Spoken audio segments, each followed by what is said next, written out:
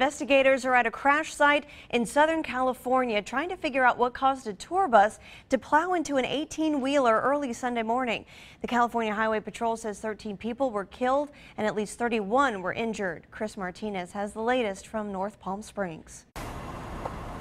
A crane was needed to separate a tour bus and tractor trailer on Interstate 10 in North Palm Springs, California. The bus plowed into the back of the truck very early Sunday morning. In almost 35 years, I've never been to a crash where there's been 13 confirmed fatal accidents. So it's tough.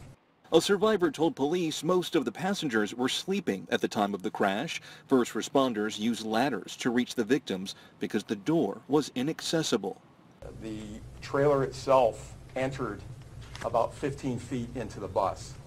So you can see that it was a substantial impact. The bus was traveling significantly faster than the tractor trailer that had struck from behind. The bus driver was killed. The truck driver was injured, but is expected to be okay.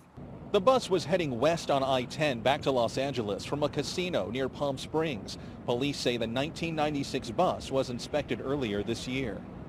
The bus had been inspected by Highway Patrol inspectors in 2014, 2015, and as late as April 2016, and no mechanical deficiencies were noted.